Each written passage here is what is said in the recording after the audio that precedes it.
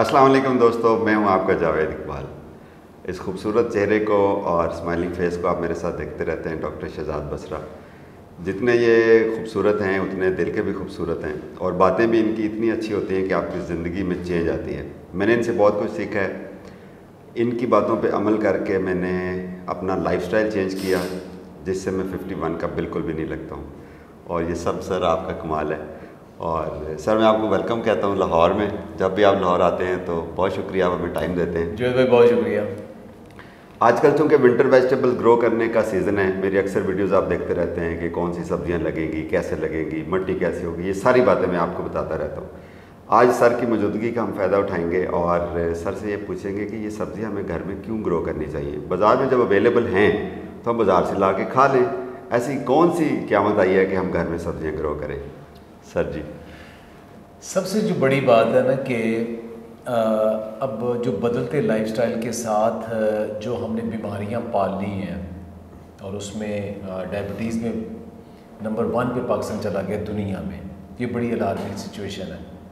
और इन सारी बीमारियों से बचने के लिए जब डॉक्टर हजरात हमें या डाइटिशन फ़ूड एक्सपर्ट हमें बताते हैं कि अपनी लाइफ में क्या मस्बत तब्दीलियाँ लेके आनी हैं तो सबसे बड़ी तब्दीली ये है कि सिंपल काब को कम्प्लेक्स काब में बदल लें प्रोटीन सा लें अब सिंपल काब वो है कि जो हमें अनाज से मैदा रोटी चावल वगैरह आलू वगैरह मिलता है। तो कम्प्लेक्स काब्स का जो बेहतरीन सोर्स है वो हमारे पास वेजिटेबल्स ही हैं। तो जब वेजिटेबल्स की बात आती है तो जब हम कहते हैं ज़्यादा सब्ज़ियाँ खाएँ तो ज़्यादा सब्ज़ियाँ खाने के लिए तो हमारे पास साफ़ सुथरी इजी एक्सेस होनी चाहिए ना। हम्म। हम अगर मार्केट से इतनी सब्ज़ियाँ लेके आएँगे पहले तो ये हमारी जेब के ऊपर बोझ होगा। दूसरा आ, हर शहर के साथ जो म्यूनसिपल वेस्ट और जो बहुत इंडस्ट्रियल वेस्ट है वो पानी जो है ना वो सब हर शहर के साथ ही वो सब्ज़ियाँ उगाने के लिए इस्तेमाल होता है। और सब्ज़ियाँ सारी आउटस्कर्ट्स में उगती हैं ताकि मंडी में जल्दी पहुँचे। जल्दी पहुँचे। और चूँकि ये जो म्यूनसिपल वेस्ट वगैरह ये जो गद्दा पानी होता है इनके अंदर ऑर्गेनिक मैटर भी बहुत होता है तो सब्ज़ियाँ ज़्यादा ग्रो करती हैं। तो हेल्दी सब्ज़ियाँ बाज़ार देख रहे हैं। हेल्दी नहीं होती तो ना हेल्दी है हम्म। लेकिन उनके अंदर मेटालाइंस बहुत ज़्यादा होते हैं। तो उनसे अगर बचना है तो सौ फ़ीसद तो हम नहीं बच सकते लेकिन जितनी परसेंटेज हम अपने घर में उगा लेंगे हम्म। वो कम से कम सेफ़ होंगी। और दूसरी खूबसूरती ये है कि बड़ी एक अच्छी एक्टिविटी है हम्म। आपके लिए।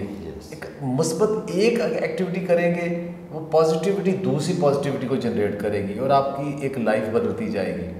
और फिर आपके पास चॉइस होगा कि आपने सब्ज़ियाँ कैसे इस्तेमाल करनी है। जब आपके पास अरसा होगी सब्ज़ियाँ हम्म। तो फिर आप देखेंगे कि क्या ये सब्ज़ियाँ सिर्फ़ हमें सालन और हड्डियाँ पकाने के लिए हैं या इनका और इस्तेमाल भी कर सकते हैं। तो फिर आप सोचेंगे कि उसके जो अच्छे अच्छे इस्तेमाल हैं कुछ स्मूदी बनानी है कुछ स्टीम करना है कुछ सैलड के तौर पे लेना है। कोई आमलेट में डालना है रोटी में डालना है कि अपनी फ़ूड में डिफरेंट जो हमारे टेस्ट बर्ड हैं और जो एक रिकमेंडेड चीज़ें हैं उसके अंदर कैसे यूज़ करने हैं। तो वैरायटी ऑफ़ यूज़ करें।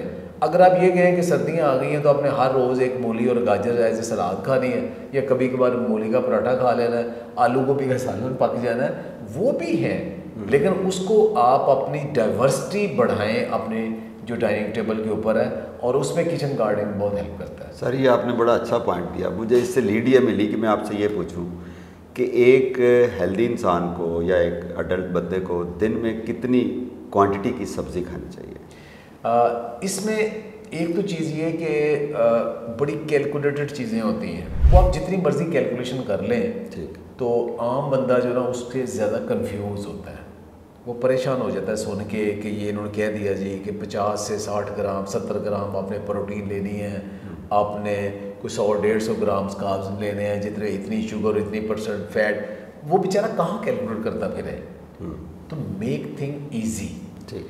वो ईजी जो चीज़ें करनी है उसमें कुछ ने कह दिया जी कि दिन में पाँच से सात वेजिटेबल फ्रूट सर्विंग होनी चाहिए। अब वो पाँच सात सर्विंग भी कौन करे? उसका ये कि आपने जो खाना खाना है कम से कम हमारे यहाँ जो अमूमी तौर पे कि हम तीन खाना खा खाते हैं। ज़्यादा लोग कुछ लोग दो खाने भी खाते हैं। ज़्यादा लोग तीन खाने खाते हैं दरमियान में दो स्नैकिंग करते हैं आमतौर पे। ठीक।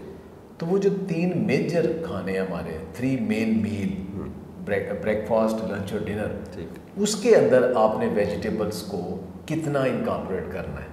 ये क्वेश्चन है। ये क्वेश्चन है। अब उसमें ये है कि आइडियल क्या है? कि आप नाश्ते के अंदर आप 60 70 परसेंट भी वेजिटेबल ऐड कर सकते हैं। लंच में आप 40 टू 50 परसेंट ऐड कर सकते हैं और डिनर में आप 20 25 परसेंट ऐड करें। तो ये आप रखें अपनी प्लेट में तो ये आपके लिए एक अच्छी एक रेशियो होगी कि जब आपके सामने खाना आया तो उसमें इसको अगर कंसिडर करेंगे तो आप इन बीमारियों से बच सकेंगे। ठीक हो गया। सर आपने एक दफ़ा बताया था एक जगह पर कि खाना खाते हुए प्लेट बनाएँ। जी। उसको ज़रा एक्सप्लेन कर दें मैं तो उसको फॉलो कर रहा हूँ लेकिन नाजरीन के लिए। अब उसमें दुनिया अब इसके ऊपर आ गई है कि खाना जो पका है उससे भी ज़्यादा इंपॉर्टेंट है कि आपने जो मील प्लेट है वो आपकी कैसे है। तो खाने की प्लेट बनानी सीखें। उसके लिए एक हेल्दी जो मील प्लेट है वो कहते हैं थोरेटिकली आपकी प्लेट जो है ना उसके चार हिस्से होने चाहिए। ठीक। उसमें एक हिस्सा काब का होना चाहिए जो कि सिंपल काब्स हैं जो आपको पसंद हैं। चावल पसंद है वो सादा भी हो सकते हैं पुलाव भी हो सकते हैं बिरयानी की शक्ल में भी हो सकते हैं या आप उतनी रोटी यानी वन फोर्थ प्लेट है रोटी गंदम की है या कोई और है मल्टीग्रेन है बेहतर कर रही है। और जितने आपने काब ये लिए हम्म। उतनी ही क्वांटिटी या उसके करीब करीब क्वांटिटी आपकी प्रोटीन होनी चाहिए। और उस प्रोटीन में आपने अंडे हैं गोश्त है शामियाँ हैं दालें हैं। ये चीज़ें। अब बाकी दो हिस्से बच गए प्लेट के अभी। वो जो दो हिस्से हैं वो आप वेजिटेबल्स को दे दें। अब उस वेजिटेबल्स में ये दो तीन किस्म की वेजिटेबल होनी चाहिए। हम्म। एक तो वो सैलड उतना जितना आपका मैदा एक्सेप्ट करता है। कुछ लोग ज़्यादा सैलड नहीं खा सकते कुछ ऐसे हैं कि वो पूरी पूरी प्लेट भी खा लेते हैं।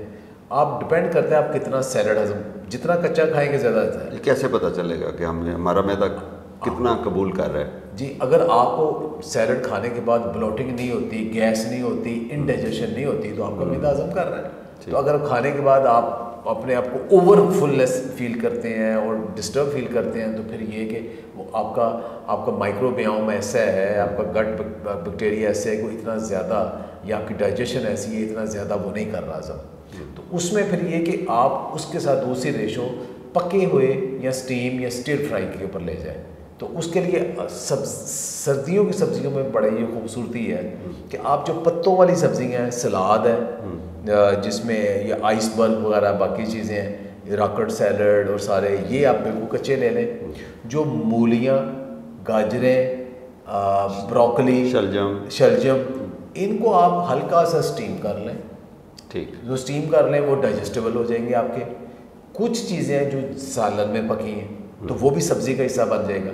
तो दो हिस्से ये सब्ज़ियाँ आ गई एक हिस्सा काब्ज आ गया एक हिस्सा प्रोटीन आ गई। चाहे वो किसी भी शेप में हो जी हाँ। स्टिर फ्राई है कच्ची हाँ। है या सालन बना हुआ है। वो जो काब लिया खाब अच्छा अब वो काब लिया है ना नॉर्मल बंदे के लिए अब उसको किसी फ़िक्र की ज़रूरत नहीं है। यूजली वो बीमारियों से बचा रहेगा ना उसका वज़न। लेकिन अगर कोई बंदा जैसे शुगर डायब वो रिवर्स करना चाह रहा है डायबिटीज़ रिवर्स करना चाह रहा है फैटी लिवर ठीक करना चाह रहा है फिर उसमें ये आता है कि जो उन्हें काब लेना है वो काब को थोड़ा सा और बेहतर कर ले जैसे मल्टीग्रेन आटे के ऊपर कर दे चक्की का आटा उसको मिक्स कर दे। अदरवाइज़ हम्म। आप वो पास्ता भी ले सकते हैं अब नान भी ले सकते हैं। लेकिन अगर इस रेशो को फॉलो करें कि बेहतर है कि मैदा अवॉइड करके आप कम अज़ कम होल वीट तो लें या मल्टीग्रेन लें तो ये प्लेट आपके लिए बेहतरीन है। ये लंच के लिए ये आइडियल है। अब रात को क्या इतना सैलड नहीं। रात को आप इतना सैलड नहीं खा सकते वरना रात के टाइम आपकी डाइजेशन पूर हो जाती। रात को आप स्टिर फ्राई वेजिटेबल्स को करें। ठीक। उसमें तवे के ऊपर हल्का सा घी या ऑयल लगाएँ सब्ज़ियाँ उसके ऊपर डाल थोड़ा नमक वाला अपनी मर्ज़ी का डाल लें उसको स्टिर फ्राई कर लें तो वो इजीली डाइजेस्टेबल है। सुबह आप ये करें कि बेहतर ये कि वही सब्ज़ियाँ आमलेट के अंदर डालें और वो पक जाएँगी और साथ अंडे लें और सब्ज़ियाँ लें। तो वो आपको भूख नहीं लगने देगी। मतलब किसी ना किसी तरह आपका दिल चाहे सब्ज़ी खाने को, चाहे आप गोश्त में डालें, चाहे आप उसको अंडे में डालें बट सब्ज़ी होना साथ ज़रूरी है। सर, मैं आपको एक बड़ा एक्सपीरियंस शेयर करता हूँ। कोई हफ़्ता पहले मेरा जाना हुआ, यहाँ पर सब्ज़ी मंडी है अलामा इकबाल टाउन की, कामरान ब्लॉक की बैक साइड पे। वहाँ पर जब आप मंडी में दाखिल होते हैं ना तो मंडी की एक स्टिंक जैसे वो गंदे नालों की होती है वहाँ पर बेसिकली जो सेवरेज सिस्टम है वो ओपन है। और आपको फीलिंग आती है कि मैं किसी बड़ी गंदी जगह पे आ गया हूँ। और ये सब्ज़ी आती कहाँ से है, आप, ये मैं आपको बताना चाह रहा हूँ। और सर, दूसरी हॉरेबल चीज़ ये है, अगर वो सीन आप देख लें तो आप शायद बाज़ार से सब्ज़ी लाना बंद ही कर दें। नीचे सर, उन्होंने ईंटों के थड़े बनाए हुए हैं मतलब साइडों ईंटें खड़ी करके तो गोभी क्या, प्याज क्या, आलू क्या, वो ऐसे नीचे फेंके हुए मट्टी के ऊपर। कोई नीचे शीट नहीं, कोई कुछ नहीं, कोई भी जाके इसको देख सकता है। और मोस्टली हमारे यहाँ मंडियाँ इसी तरह हैं। और ये पढ़े लिखे इलाके में मंडी है। मतलब ये अच्छा अलामा इकबाल टाउन पढ़े लिखे लोगों के। वो देख के ना यकीन जानिए कि मेरे अंदर और अर्ज़ पैदा हुई कि मैं लोगों को रिक्वेस्ट करूँ, मिन्नत करूँ कि भाई आप घर पे सब्ज़ियाँ लगाएँ। घर पे सब्ज़ियाँ लगाना कितना आसान है, कितना मुश्किल आप मेरी वीडियोस देखते रहते हैं। आपको किसी किस्म की हेल्प चाहिए, मैं हमेशा तैयार हूँ, हमेशा हाज़िर हूँ।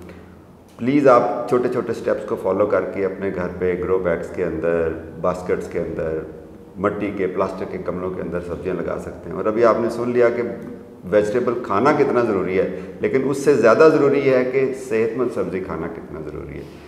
अपने घर में सब्ज़ियाँ उगाएँ सेहतमंद सब्ज़ियाँ खाएँ और सेहतमंद रहें। बहुत शुक्रिया सर। जजाकल्ला थैंक यू वेरी मच बहुत शुक्रिया। Happy gardening